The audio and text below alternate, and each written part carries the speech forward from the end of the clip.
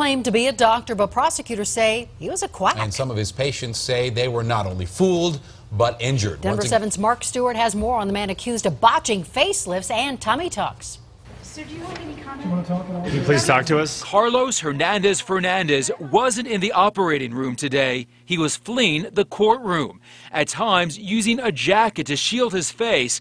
The 36 year old man is accused of pretending to be a plastic surgeon.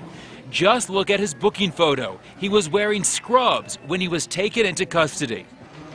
The dubious doc was arrested on August 4th and faces a long list of charges, including sexual assault and child abuse. He's accused of injuring at least four patients.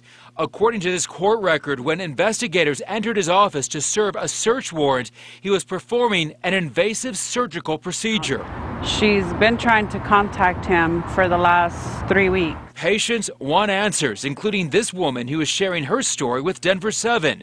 She went to the man for what she thought was a nose job. He charged her 3000 for that. She's also worried about a procedure to smooth out her forehead that she says may have caused her headaches.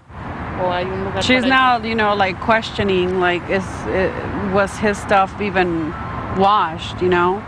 Does she maybe have an infection because he didn't properly take care of whatever it was? From Facebook to his own website, he came across as credible, but prosecutors say his appearance was part of his act as a fraudulent physician. And investigators fear there may be more victims. Now,